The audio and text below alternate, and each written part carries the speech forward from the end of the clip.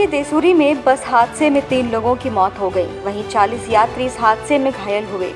पंजाब मोड़ के पास मोड़ पर टर्न लेने के समय बस अनियंत्रित हो गई और सामने चट्टान से जा टकराई। रास्ते से जा रहे लोगों ने बस के शीशे तोड़कर लोगों को बाहर निकाला। जी हाँ आपको बता दें, राजस्थान के पाली ज़िले में यात्रियों से भरी एक बस अनियंत्रित होकर चट्टान से जा टकराई। इस हादसे में तीन लोगों की मौके पर ही मौत हो गई।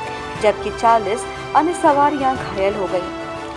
हादसा देसोरी पर बने पंजाब मोड़ के पास हुआ। जानकारी के अनुसार, टक्कर इतनी ज़बरदस्त थी कि बस में फंसे यात्रियों को शीशे तोड़कर बाहर निकालना पड़ा। बताया जा रहा है कि रास्ते में मोड़ पर टर्न लेने के समय बस अनियंत्रित हो गई, फिर सामने चट्टान से जाकर टकरा गई।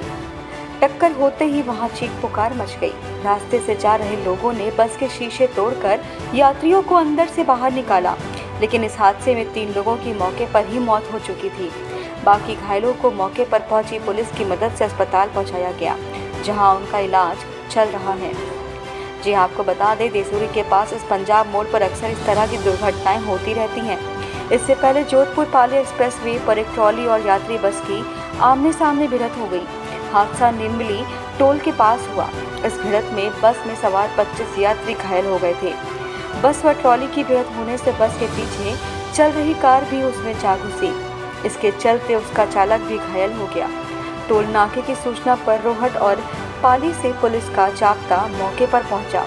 घटना में घायल हुए यात्रियों को पाली के बांगल अस्पताल ले जाया गया। Bureau report, IPN.